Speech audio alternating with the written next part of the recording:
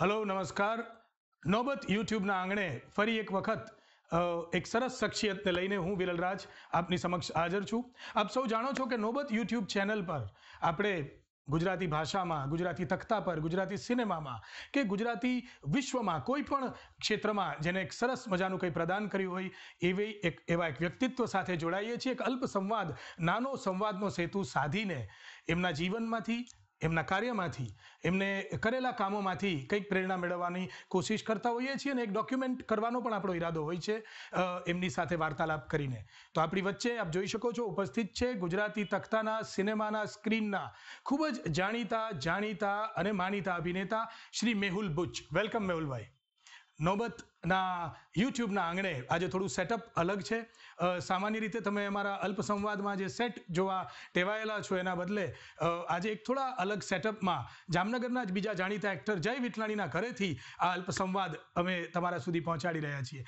એક એક્ટર ને જ્યારે આપણે આવકારી રહ્યા છીએ અને પોસ્ટ કોરોના આ પહેલા એક્ટર છે જે અલ્પ સંવાદમાં આપણી સાથે જોડાયા છે. મેહુલભાઈ જેના માટે આવ્યા છે ત્યાંથી શરૂ કરીને પછી મેહુલભાઈ ના, બીજા કાર્યો તરફ જઈએ. Mehulbhai is here for the first release after corona or during corona time Gujarati film titled as Yuva Sarkar Yuva સરકારમાં મેહુલભાઈ ખૂબ જ સરસ કામ કરી રહ્યા છે અને એના જ આજના એક સ્પેશિયલ શોમાં એ મુંબઈથી ખાસ આવ્યા છે. તો મેહુલભાઈ યુવા સરકારને એની પ્રોસેસની થોડી વાત કરશો. યુવા સરકારના પ્રોસેસની એક ટૂંકમાં જો વાત કરું તો ઘણા વર્ષો પહેલાં રક્ષિત વસાવડા નામના એક ભાઈ મને મળેલા અત્યંત સજ્જન અત્યંત શાંત એવા એક સરસ મિત્ર બની ગયા હતા. એને ફિલ્મ સાથે કોઈ સંબંધ છે એવો મને દૂર દૂર સુધી ખ્યાલ નહોતો. અચાનક એક વર્ષ પહેલાં ફોન આવ્યો. રક્ષિતભાઈ એક ફિલ્મ બનાવે છે એટલે મેં પૂછ્યું રક્ષિત વસાવડા ફિલ્મ બનાવે છે? તો મને કહા એ જ રક્ષિત વસાવડા. તો મેં કહું કે આવું કે હું કરીશ? પછી મને પણ વિચાર આવ્યો કે કેમ કરીશ? પછી મેં કહ્યું મિત્ર છે એટલે કરીશ. એનાથી આગળ મને કંઈ જ ખબર નહોતી નહોતી પૈસાની વાત થઈ. મેં મેં કહ્યું કે મિત્રતામાં મેં હા પાડી છે. આગળ આપણે આગળ કોઈ ચર્ચા નહીં કરીએ. પછી ધ પ્રોસેસ સ્ટાર્ટેડ એ લોકોએ મને વિષય સંભળાવ્યો બધું સરસ હતું. અહીંયા આવ્યો અદ્ભુત ટ્રીટમેન્ટ મને રિસીવ બહુ અદ્ભુત રીતે કરવામાં આવ્યો. શૂટિંગ પર જતા પહેલાં એક ભય હતો કે નવા શું હશે? નવા એટલે સાવ નવા છે. એટલે શું હશે? પણ ચલો જે હશે જોયું જ હશે. બટ પહેલો શોટ શરૂ થયો. અને એ રાત સુધીમાં મારો ઓપિનિયન બદલાઈ ગયેલો. એ લોકો અદ્ભુત રીતે પ્રોફેશનલ રક્ષિતભાઈએ સીન સમજાવવાના જ્યારે શરૂ કર્યા ત્યારે એક એક્ટર તરીકે તમને એકચ્યુઅલી સીનની લાઇટિંગ દેખાય આંખની સામે. એટલું બધું ડિટેલ વર્ક વાતાવરણ શૂટિંગનું એબ્સોલ્યુટલી એકદમ ડિસિપ્લિન કામ સિવાય કોઈ ખોટી લપન છપ્પન નહીં કોઈ ટેન્શન્સ નહીં. અને ટેન્શન આવતા તો પણ એટલા સરસ રીતે એ લોકોએ સંભાળી લીધેલા. અને ઓવરઓલ યુવા સરકાર શેપ્ડ અપ વેરી વેલ અને ઓડિયન્સનો પ્રતિસાદ અદ્ભુત. યુવા સરકારની વાત આવે ત્યારે મેહુલભાઈ, મને કહેવાનું મન થાય, અત્યારે talk of India is Indian team's attitude in Australia કે સાવ નવા લોકો, પણ જે વિનિંગ એટીટ્યુડ સાથે જે ઉતર્યા મેદાનમાં એક આખી હિસ્ટોરિક વિજેતા આપણી ટીમ થઈ. એવું જ કંઈક યુવા સરકારે પોસ્ટ કોરોનામાં કોઈ ભલભલા ડિરેક્ટર પ્રોડક્શન હાઉસીસ જ્યારે ફિલ્મ રિલીઝ કરવાનું કામ નહોતા કરતા. ફિલ્મ બનાવીએ તો હિંમતનું કામ પણ રિલીઝ કરવાનું જે કામ કર્યું એ યુવા સરકારે ને અત્યારે એટલે મને આનંદ થાય છે કે છવ્વીસ જાન્યુઆરી બે હજાર એકવીસ ફિલ્મના પિચોતેર દિવસ પૂરા થાય છે. અને અત્યારે પણ એ films on seventy fifth day in this time કે જ્યારે આટલી બધી જગ્યાએ તો હજી નાઇટ કરફ્યુ ચાલી રહ્યા છે મોટા શહેરોમાં ત્યારે સત્તર જેટલા સિનેમામાં હજુ પણ ચાલુ છે. વેન ઇટ ગોટ રિલીઝ ત્યારે છ્યાસી સિનેમામાં એ ફિલ્મ ચાલુ હતી. તો કટ ટુ હવે યુવા સરકારથી મેહુલભાઈ જેવા વ્યક્તિ આપણી વચ્ચે છે ત્યારે મેહુલભાઈ, ખૂબ જ જાણીતું નામ છે તમારું, ખૂબ જ જાણીતો ચહેરો છે. મને મેહુલ કોઈ પૂછે તો નાટકો ઉપરાંત જે એક એડવર્ટાઇઝમાં તમારો ચહેરો રહેતો સિગારેટની, એ ત્યાંથી I know you know you are such a household face everywhere તો આ ક્ષેત્રમાં જવું જોઈએ, એ ક્યારે તમને સૂજ્યું? કોઈ ઘરમાંથી હતું કે કેવી? ના ના, કોઈ જ ઘરમાંથી નહોતું. છઠ્ઠા ધોરણમાં રાધર છ વર્ષનો હતો બાળ મંદિરમાં ત્યારે પહેલી પહેલી વાર સ્ટેજ પર ગયેલો પારસી બનીને. અને એ વખતથી એક વસ્તુ ખબર નહીં થઈ ગયેલી કે હું બોલું છું લોકો તાળી પાડે છે ગમે છે તાળીઓ. તો ત્યારથી પછી વક્તૃત્વ સ્પર્ધા આવી પપ્પા શિક્ષક. નાગર ફેમિલીમાં જન્મેલો એટલે ભાષા હતી. અને પછી એ ચાલ્યું. અને હું બોલતો ગયો સફળતા મળતી ગઈ લોકો વખાણતા ગયા અને ફ્રેન્કલી સ્પીકિંગ એક એક્ટરને ગમે એ ક્વોલિટી મારામાં હતી છે અને રહે છે કે હું બોલું છું અને લોકો મારા વખાણ કરે છે લોકો તાળીઓ વગાડે છે. તાળીઓનો નશો હતો મને. અને વધતો ગયો કોલેજ સુધી પહોંચ્યો. કોલેજમાં એન્કરિંગ કર્યું.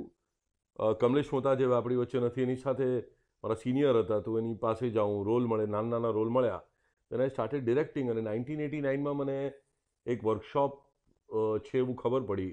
અને એ workshop was handle by Kanti મળ્યા. ક્યાં બાત અને I got selected in that workshop અમારા નસીબ કે કાંતિભાઈએ એક મહિનાનો વર્કશોપ નવ મહિના ચલાવ્યો. પાનકોર નાકેજી મધુરાયનું નાટક હતું અને એ વર્કશોપના એન્ડમાં એ એટલે નવ મહિના પછી કાંતિભાઈ મને પૂછેલું, મારી સાથે કમર્શિયલ નાટક કરીશ? એટલે ઈશ્વર સામે હતા, એણે મને વરદાન આપ્યું, મેં હા પાડી. એ દિવસ હતો, પહેલાં નાટકમાં મેં કાંતિભાઈ સામે અને ફિરોઝ ભગત સામે એક સીનનો રોલ કર્યો હતો. બીજામાં મેં કાંતિભાઈને આસિસ્ટ કરેલા, મહામાનવ નામના નાટકમાં. અને ત્રીજા નાટકથી કાંતિભાઈએ મને મેઇન રોલ આપ્યો. અરવિંદ ત્રિવેદી અને કલ્પના દિબાન, હું આશીષ ભટ્ટની મારી સાથે જ એન્ટ્રી હતી. અને બસ ત્યારથી જે સફર શરૂ થઈ છે નાટકની સફર એને એકત્રીસ વર્ષ થયા. આજ સુધી અટકી નથી. એટલે એ સફર તો ચાલ્યા જ કરી પણ મારા નસીબ કદાચ સારા કે હું એવી પેઢીમાં આવ્યો કે ટેલિવિઝનની જ શરૂઆત થઈ હતી. So I got into television right so શરૂઆતના તબક્કામાં હું આવી ગયો એટલે હું તરત સેટ થઈ ગયો. પછી ડેલી સોપની શરૂઆત હિન્દી. તો હિન્દીમાં પણ મેં શરૂઆત કરીને મેં કલ્પના પણ નહોતી કરી કે હું મોડલ બનીશ પણ એ જમાનામાં ખબર નહીં એક એક એક આખો ફેસ બદલાયો અને ફેમિલી ફેસીસની એડ બનવા માંડી. અને મને ખબર બી નહોતી કે કોને વીડિયો ટેસ્ટ કહેવાય અને કોને ઓડિશન કહેવાય. કેટલા પૈસા મળે એ ખબર નહોતી. મારો પોતાનો બિઝનેસ હતો બિકોઝ હું કમ્પ્યુટર ગ્રાફિક ડિઝાઇનર છું. એટલે બિઝનેસ એ ચાલતો હતો સાથે નાટક ચાલતા સિરિયલો થોડી થોડી ચાલતી. પણ જ્યારે એડમાં મને પહેલવેલી વખત કામ મળ્યું અને એ એડમાં મને છ આંકડા મેં જિંદગીમાં પહેલી વાર જોયેલા. ક્યાં વાત હે? પહેલી વાર. જિંદગીમાં મને ખબર નથી કે એ કેવું દેખાય જ મને ખબર નહોતી. અને એ દેખાયું અને મેં બાર કલાકમાં નક્કી કરેલું કે I am winding up my business and I doing this and I am doing this અને બસ એ દિવસે ને આજની ઘડી. પછી તો મેં એડમાં બસો આડત્રીસ કમર્શિયલ ત્રણ વર્ષમાં કરી. સો એટલે હું અને Humayun Pirzada we are the people જે લોકોએ કદાચ મેક્સિમમ એડ કરી. એટલે વર્લ્ડ કપ ચાલતી હોય ને બ્રેકમાં આઠ હેડ આવે તો સાત મારી આવતી એ વખતે. ક્યાં વાત એ દિવસ જોયા છે. અને પછી સિરિયલો અને નાટકો કોઈ દિવસ છોડ્યા નહીં. અને બસ આજ સુધી મોજ કરું છું. આખી વાતમાં જે મેહુલભાઈ ને આમ- ક્રક્સ કહી દીધું આમ જિસ્ટમાં કહી દીધું જર્ની પણ એમાં બે મહત્વના મુદ્દા મને અમારા ભાવકોને નોબતના પ્રેક્ષકોને કેવા ગમે જેમાં યંગસ્ટર્સ જો સાંભળતા હોય તો. એક તો કોઈ પણ ક્ષેત્રમાં નેચરલ ટેલેન્ટ હોવી ઈશ્વરના વરદાન હોવું એ તો આશીર્વાદ રૂપ છે પણ તમને તાલીમ જોઈએ. અને જે તાલીમે કદાચ કરવટ બદલી દિશા બદલી દીધી કાંતિ મળિયાની તાલીમ અને બીજું કન્સિસ્ટન્સી પરસિવરન્સથી એક ને એક ક્ષેત્રમાં મચી પડેલા રહેવું. એ એડ રાતોરાત નથી મળી. બસો આડત્રીસ કોમર્શિયલ એવી રીતે ના મળે. પણ એક તો તાલીમ તાલીમબદ્ધ એક્ટર અને પછી કન્સિસ્ટન્સીથી નાટકો સિનેમાને પ્રતિબદ્ધતાથી કામ કરતા રહે તો સમથિંગ હેપન્સ અત્યારે બધાને બહુ ઝડપથી કંઈક બનાવવું છે. ઝડપથી કંઈ થાય નથી બનતું એટલે મારો એવો અનુભવ છે કે જેટલું ઝડપથી મળી જાય છે ને તો એ ઝડપથી છીનવાઈ પણ જાય છે. એક્ઝેક્ટલી એટલે it is as simple as that fast food જેવું છે એટલે fast acting is not a fast food any profession is not a fast food અને એક્ટિંગ તો નહીં જ. ઘણા બધા લોકો હજી પણ અમને સીધા ન લઈને પહોંચી જાય છે. બોમ્બે કે અમદાવાદ અર્બન ફિલ્મો ગુજરાતી બની છે કે મારે અમારે કામ કરવું છે. આ તે તો જે સાંભળતા હોય જે પેરેન્ટ્સ સાંભળતા હોય બાળકોના એ બધા માટે કે પ્રોફેશનલ કામ કરવું હોય તો એ તાલીમબદ્ધ તૈયાર થયેલ એક્ટર હશે તો વધારે સરસ જેને કહેવાય ને કે પ્રતિસાદ મળશે. મેહુલભાઈનો એક જામનગર કનેક્શન બહુ સરસ છે. મારે એ કહેવું છે. જામનગર આપણું હાલાર દ્વારિકાધીશની બાજુમાં છે ત્યારે મેહુલભાઈ દ્વારિકાના જમાય છે. અને પાછા જેમ તેમ નહીં દ્વારિકાના પણ એક ગૌરવવંતા વ્યક્તિત્વ છેલભાઈ વાયડા જેને આપણે કહીએ કે છેલભાઈ. છેલભાઈ અદ્ભુત અદ્ભુત સેટ ડિઝાઇનર છેલ પરેશ બેલડીના. એમના એ જમાય છે. તો દ્વારિકા અને જામનગર તો આવતા રહેતા હશો. જામનગર હું શો માટે જ આવ્યા કરું છું. દ્વારિકા ખૂબ આવું છું. મને જગ્યા ગમે છે એટલે આવું છું.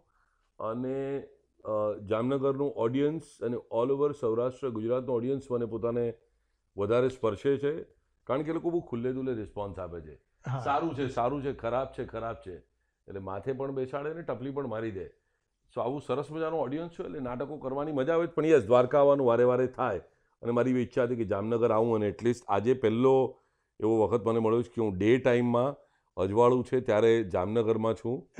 નહીતર હંમેશા રાત્રે આવી શો કરીને નીકળી નીકળી જવાનું જવાનું હોય છે. હવે તમે વધારે આવો ને હજુ જામનગર એક બહુ સુંદર શહેર છે. તમને બહુ બધી રીતે જોવાનું ગમશે. મેહુલ બુચ સાથેનો આપણો અલ્પ સંવાદ ચાલુ છે. એ અલ્પ જ રહેશે. આપણે શોર્ટમાં જ હવે આગળ વાત પૂરી કરીશું પણ બહુ મહત્વની મારે વાત કરવી છે.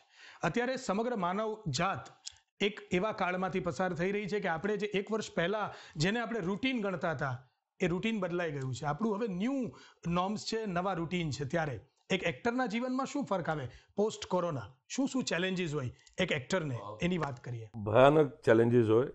એક એક્ટર જે સતત લોકો સાથે સમાજ સાથે સંકળાયેલી વ્યક્તિ છે. અમને લોકો વગર અમારા પ્રેક્ષકો વગર ન ચાલે. એટલે કોરોનાના નવ મહિનામાં શરૂઆતના તબક્કામાં તો ખૂબ જ ખરાબ પરિસ્થિતિ. માનસિક રીતે પહેલાં બહુ જ ડિસ્ટર્બ થઈ ગયેલા કે પ્રેક્ષકો we are missing our audience પછી એક પોઈન્ટ પર એવા થવા લાગ્યું કે હવે ભવિષ્ય ક્યાર સુધી આવું છે? રંગમંચનો એક્ટર હતો તો એને એ મેસેજ સ્ટેજ પડદો નથી ખુલતો તાળીઓ નથી સંભળાતી. અને એ ફિલિંગ એવી હોય છે કે ભલભલાને ડિપ્રેશનમાં નાખી દે.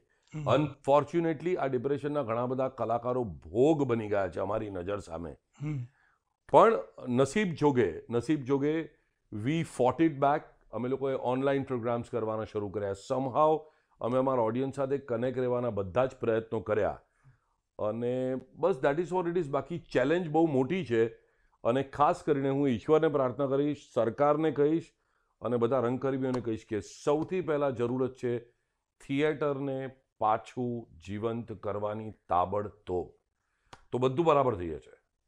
થિયેટર ન- વાત કરે છે ત્યારે મેહુલભાઈ કહેવા માંગે છે કે નાટકો લાઈવ પ્રોગ્રામ વધારે શરૂ થાય. સિનેમા તો છે જ એ તો આપણે ઓટીટીમાં પણ સ્ક્રીન પર ઘરે બેસીને પણ લોકડાઉન દરમિયાન માણ્યું છે. પણ આપણે જો ત્યારે મિસ કરતા હોઈએ જો અમને કલાકારોને પૂછો કે કોઈ સર્જકને પૂછો કે પ્રેક્ષકને તો એ લાઈવ સંવાદની વાત છે. એક કલાકારે બહુ સંઘર્ષ કર્યો છે જે કદાચ બીજાને નથી દેખાણો. બધાને ચાલ્યા જતા મજૂરો જોયા છે. બધાએ નોકરી વગર ઘરે બેસેલા લોકો જોયા છે. પણ કામ વગર પ્રેક્ષકો સાથેના અનુસંધાન વિનાનો એક કલાકાર એની પીડા અલગ હોય છે. આખો એક જુદો કાર્યક્રમ એના તરફ થઈ થઈ શકે. પણ મેહુલભાઈ જેવા લોકો છે કે જે સ્પિરિટ હાઈ રાખીને ન કોઈ પણ રીતે આ ફરી જીવંત કરશે જ કલાને. અને તમે પણ આવશો જ ફરી નાટકો જોવા ફરી લાઈવ પ્રોગ્રામ માણવા એવી અમને આશા અને પૂરેપૂરી ખાતરી છે. તો કાર્યક્રમના અંત તરફ જઈએ ત્યારે મેહુલભાઈ તમે અત્યારના સમયમાં એક પ્રેક્ષકને શું સલાહ આપવા માંગો છો કે એને શું કરવું જોઈએ? કલાકારો નહીં હું એસ્પાયરિંગ એક્ટર અત્યારના કોવિડ કાળ પછીના સમયમાં મારી દરેકે દરેક ખાસ કરીને ગુજરાતી પ્રેક્ષકોને એક જ વિનંતી છે. કોવિડ પછી આપણે જેમ પાણીપુરી ખાતા ગભરાતા નથી ને તો પછી થિયેટરમાં આવતા ગભરાવાની કોઈ જરૂરત નથી. થિયેટરમાં તમામે તમામ સેફટી પ્રિકોશન્સ લેવાય છે.